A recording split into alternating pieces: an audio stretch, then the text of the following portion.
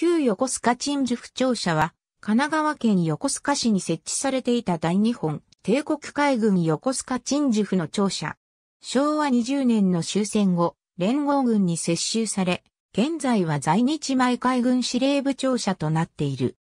直東記事では、明治23年4月に竣工し、大正12年9月の関東大震災によって倒壊した初代の鎮守府庁舎と昭和9年頃に完成した旧鎮守府庁舎隣の旧横須賀鎮守府会議所、横須賀海軍艦船部についても説明する。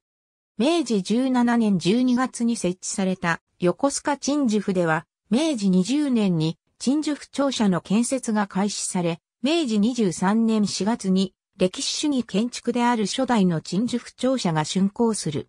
しかし、大正12年9月の関東大震災によって倒壊した。その後大正15年3月には2代目の鎮守府庁舎が寄港され、同年10月には竣工した。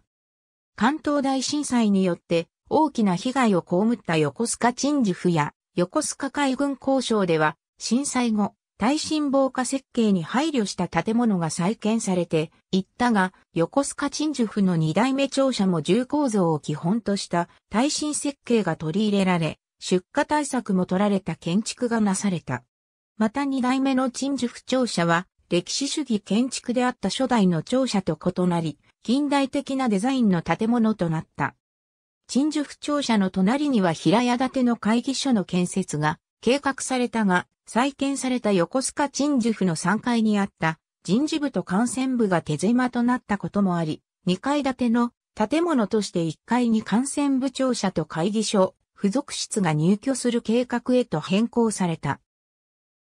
横須賀鎮守府会議所、横須賀海軍艦船部は昭和9年頃に完成したと考えられる。昭和20年の終戦後、横須賀鎮守府は連合軍に接収された。横須賀鎮守府庁舎もまた接収され、現在旧横須賀鎮守府庁舎は在日前海軍司令部として使用されている。また隣の旧横須賀鎮守府会議所、横須賀海軍艦船部については、1階は米海軍横須賀基地司令部、2階は多目的ホールとなっている。明治9年に横浜市に設置された東海鎮守府は、明治17年12月には横須賀に移転し、横須賀鎮守府となった。移転直後の横須賀鎮守府は、季節の横須賀造船所の艦舎の一部を間借りしていた。横須賀鎮守府は明治19年に造船部を設置し、明治22年5月になって横須賀造船所は廃止され、横須賀鎮守府造船部に統合される。横須賀鎮守府の機能が充実していく中、横須賀造船所の感謝を間借りしていた横須賀鎮守府の庁舎では手狭となって業務の執行に支障をきたすようになり、また建物そのものの老朽化も目立ってきた。さらには、横須賀に来航する外国艦船などの品格を迎えるにあたっても、曲がりの鎮守府庁舎では不都合が大きいと認識されるようになった。このような状況下、明治20年に横須賀鎮守府庁舎の建設が開始された。同時期には、呉軍港司令部と佐世保軍港司令部でも、庁舎建設が進められており、横須賀鎮守府でも鎮守府庁舎の建設が進められることになった。明治20年、横須賀鎮守府庁舎の建設が開始された。まず、横須賀造船所に連なる丘陵部を崩して、用地を造成し、庁舎建設が進められた。初代横須賀鎮守府の設計者は、横須賀鎮守府建築部筆頭技師であった渡辺五郎であった。またやはり、横須賀鎮守府建築部に在籍していた林忠宏が渡辺の設計を補助したと考えられている。林は明治10年に完成した大新院庁舎など観光庁の建築設計に広く携わっており、横須賀鎮守府庁舎は林が携わった最後の本格的な庁舎建築であった。初代の横須賀鎮守府庁舎は明治23年4月に竣工した。庁舎はレンガ造り2階建てであり、建物の中央部には車寄せを設け、中央部の軒上にはペディメントを設け大きく、喫下紋章をあしらい、両翼には寄せ棟屋根を乗せ、銅蛇腹を張り出させた全体として左右対称系の歴史主義建築であった。なお、初代の横須賀鎮守府庁舎の竣工後、横須賀鎮守府管下の官庁建築として木造の歴史主義建築が多く建設された。大正時代に入る頃からは、横須賀鎮守府管下で鉄筋コンクリート造りの建物が建設されるようになってきたが、依然としてレンガ造りの歴史主義建築の建物の建設も続けられていた。初代の横須賀鎮守府庁舎は、大正12年9月1日に発生した関東大震災によって倒壊した。横須賀鎮守府関連の施設では、鎮守府庁舎と同じレンガ造りの建物は、横須賀海軍交渉庁舎以外すべて大規模な損傷、ないし倒壊するなど、木造とレンガ造りの建物は大きな被害を受けた。一方鉄骨造りや鉄筋コンクリート造りの建物の被害は比較的軽微であった。また、横須賀市内では大震災によって火災が発生し、海軍機関学校の校舎が全焼するなど大きな被害を受けた。地震とそれに伴う火災による甚大な被害を目の当たりにした海軍省は震災後の復旧では耐震防火建築を用いた建物を建設する方針を立てた。大正14年12月、海軍省が発令した指示に基づき、関東大震災で倒壊した横須賀鎮守府庁舎に代わる新庁舎の設計が開始された。設計を担当したのは横須賀鎮守府建築部技師の島田秀夫と技師の樋口和夫、菊池秀夫の3名であった。新庁舎は倒壊した旧庁舎の跡地に大正15年3月11日寄港された。新庁舎の建設を受注したのは横須賀に設立され海軍関連の工事を多く受け負っていた馬淵組であった。新庁舎建設に際して馬淵組に与えられた工期は8ヶ月足らずと短いものであったが、当時、特艦の間淵と呼ばれていた間淵組は、鉄骨の搬入や組み立てにクレーンを用いるなど、後期の短縮に努力した結果、後期を守ることができた。同年10月15日には、建物本体が竣工し、11月25日には、落成式が行われた。二代目の横須賀鎮守府庁舎は、鉄骨造りの3階建てで総建て坪675坪、総工費は23万7276円であった。建物の中央には車寄せが設けられているが、屋根は無装飾の6屋根であり、全体として箱型をした建物となっており、歴史主義建築であった初代の庁舎とは対照的に近代的なデザインの建築であった。横須賀の海軍関連の建築物では、大正2年に竣工した旧横須賀海軍、交渉造兵部庁舎製図工場など、大正初期から歴史主義建築ではなく、近代的デザインの建築物が建てられるようになっており、当時の日本の建築界が歴史主義建築から近代的建築へと主流が移りつつある動きと相まって二代目の横須賀鎮守府庁舎は近代的デザインの建築物として建設されることになったと考えられている。二代目の横須賀鎮守府庁舎は、主体部は鉄骨造りであった。建物の外壁については鉄骨に鉄毛セメント岩吹き付けの上にタイル張りを行い、内壁は鉄毛モルタル及び漆喰塗りであった。そして屋根と床スラブについては鉄筋コンクリート造りであった。つまり二代目の横須賀鎮守府庁舎では、鉄骨造りと鉄筋コンクリート造りを組み合わせた建築が採用された。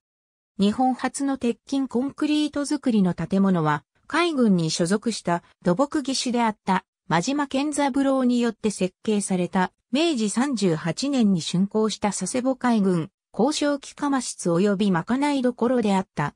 その後各地の海軍施設では鉄筋コンクリート造りの建造物が建てられるようになっていた。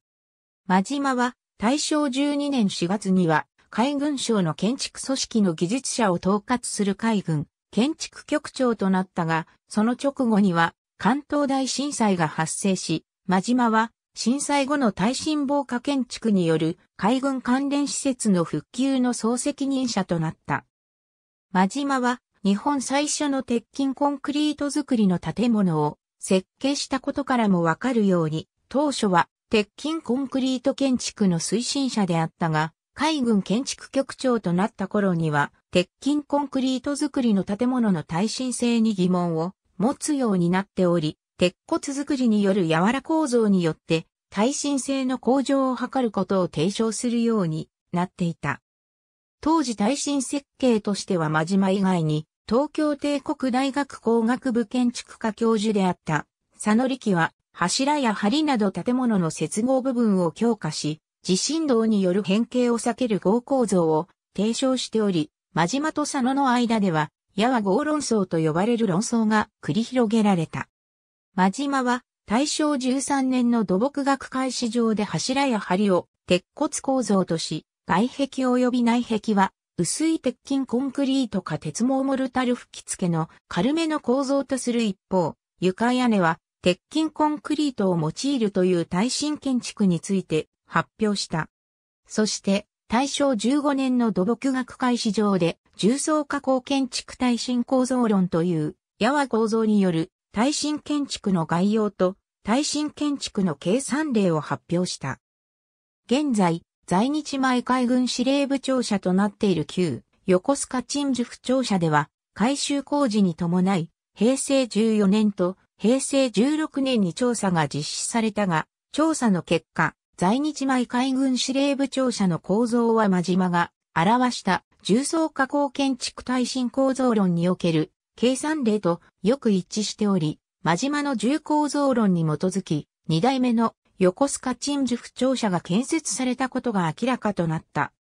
また伝えられている通り、建物の外壁は鉄骨に鉄毛セメント岩吹き付けの上にタイル張り、内壁は鉄毛モルタル及び漆喰塗りで、床スラブについては鉄筋コンクリート作りであると見られることが判明し、これもまた、真島の重構造理論によく合致している。また二代目の横須賀鎮守府庁舎では、窓はすべて単窓の上げ下げ窓となっている。これもやはり、真島の重構造理論に基づき、外壁面の強度を均一化することを目的として、選択されたと考えられる。このように、大正15年に再建された横須賀鎮守府庁舎は、真島健三郎の重構造理論に基づき、建設された耐震建築であり、関東大震災後の耐震構造理論を採用した最初期の建造物の一つと考えられる。そして二代目の横須賀鎮守府庁舎の後、昭和初期には横須賀鎮守府管内で旧横須賀海軍交渉庁舎、旧横須賀海軍病院庁舎及び兵舎などといった建物が真島の重構造理論に基づいて建設された。そして関東大震災では地震動による建物の被害とともに地震後に発生した火災による鉄骨造りの建物の耐火性が大きな問題となり、震災後には鉄骨をコンクリート等の耐火物で包む対策が取られるようになった。再建された横須賀鎮守府庁舎でも、鉄骨を耐火物で厚く覆うという工法を採用し、耐火性にも配慮した建築がなされた。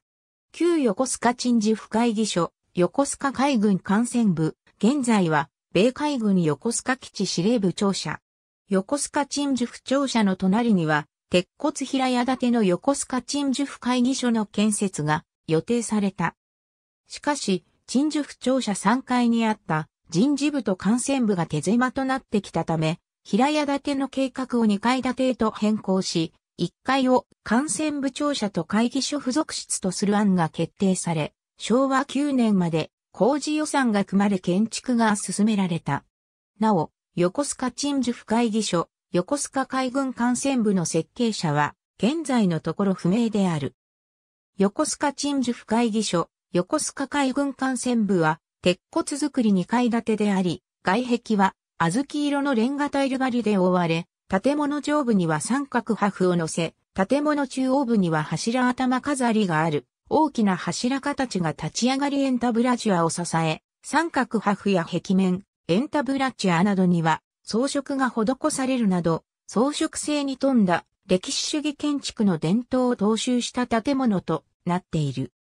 また、建物内部も2回天井上部や鉄骨トラスに、幾何学的な浮き彫りの装飾がなされるなど、建物全体としても横須賀鎮守府管内で、関東大震災後に建設された建物の中では、最も装飾性に富んだ建築物である。